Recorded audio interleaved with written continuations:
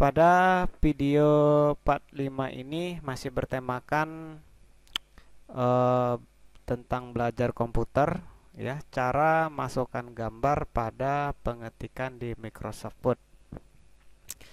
Dan bagi teman-teman atau yang lainnya terima kasih yang sudah subscribe ya. Bagi yang belum silahkan uh, tekan tombol merahnya atau subscribe-nya. Dan jangan lupa untuk komennya demi untuk membangun pembuatan uh, video pembelajaran ini ya. Di video-video sebelumnya ini sudah saya buat di part 1 mengenal tampilan desktop bagi pemula. Linknya ini tinggal diklik saja ya. Kemudian di part 2 belajar Microsoft Word dari nol atau dari awal.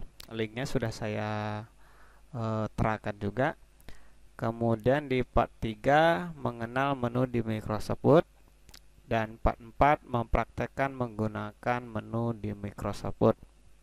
Untuk link-link ini sudah saya buat di description di bawah ya di bawah video ini.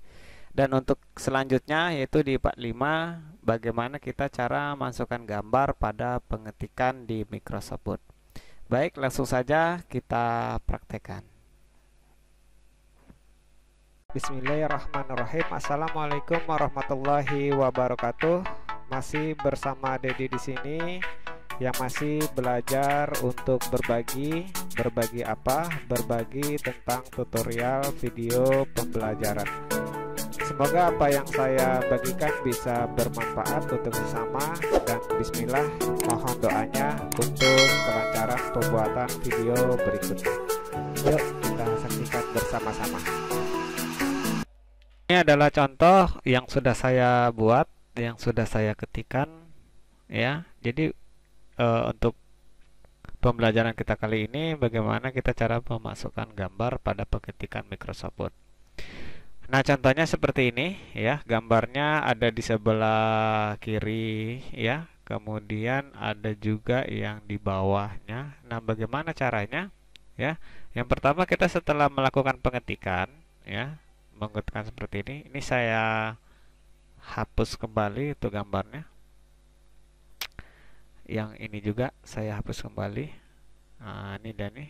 Jadi yang teks yang pertama naik. Nah, ketika kita sudah melakukan pengetikan, kita uh, masukkan gambar caranya yang pertama posisi gambar tersebut kita mau letakkan di sebelah kiri ya kita klik di huruf A ini pengertian Microsoft kemudian kita klik menu insert ya kemudian uh, pilih picture ya nah, kita klik kemudian cari gambarnya Nah, kebetulan saya gambarnya berada di uh, folder download. Ah, karena saya mendownload dulu gambarnya ya.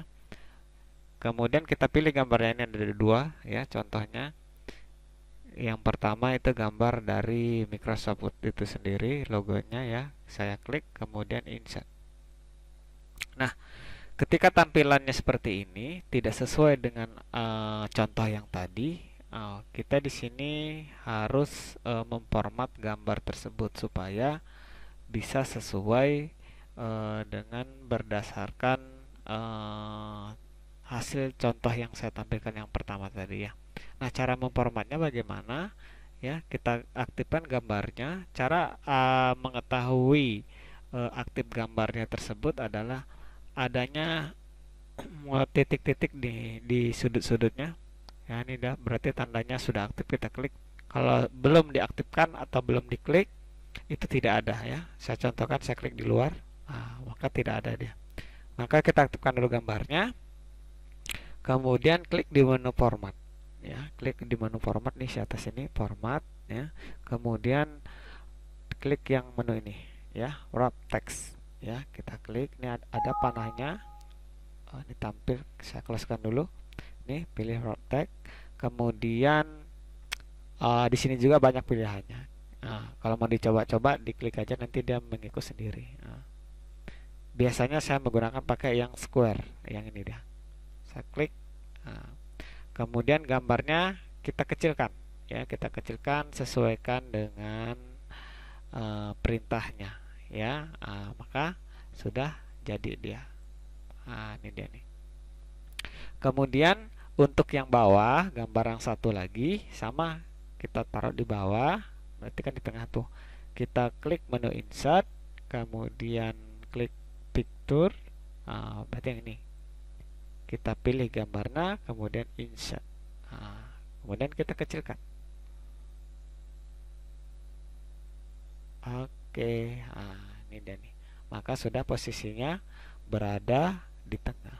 Nah kadang ada juga nih bagi teman-teman atau bapak ibu yang putra putrinya memu, apa e, mempunyai tugas sekolahnya ya atau bagi teman-teman yang masih kuliah lagi mau nyusun skripsi itu kan ada e, memuat gambarnya di situ nah caranya sama seperti ini ya kalau misalnya mau coba kita taruh di tengah gambarnya di tengah teks kita coba kita geserkan aja nah, seperti ini Nah, kemudian kita kecilkan sesuai dengan uh, format yang dibutuhkan ya. Nah, seperti ini. Dia sudah otomatis sendiri ya. Kemudian apabila di sebelah kanan kita geserkan aja sebelah kanan. Nah, seperti ini dia. Ya. Nah, itu dia. Itu mengenai uh, cara uh, memasukkan gambar pada pengetikan di Microsoft Word. Nah, mengenai untuk merapikan teksnya misalnya rata kiri apa rata kanan, rata kiri, ukuran uh, huruf ya. Itu sudah dibahas di video saya sebelumnya. Ya, tinggal diklik aja linknya ada udah saya terapkan di bawah video ini ya. Baik, mungkin itu saja uh, untuk video kali ini. Mudah bukan? Ya, bagi masih bingung ya masih uh, kurang mengerti boleh isi komen ya, komentar kolom komentarnya di bawah ya. Karena dengan adanya komentar atau adanya pertanyaan bagi teman-teman atau yang lainnya belum paham ya bisa saya jelaskan kembali di video-video berikutnya. Tetap di channel Putra Bungsu ya. Terima kasih atas waktunya dan terima kasih atas subscribe-nya. Yang bagi yang sudah subscribe yang belum monggo silahkan klik tombol merahnya atas subscribe-nya. Terima kasih. Assalamualaikum warahmatullahi wabarakatuh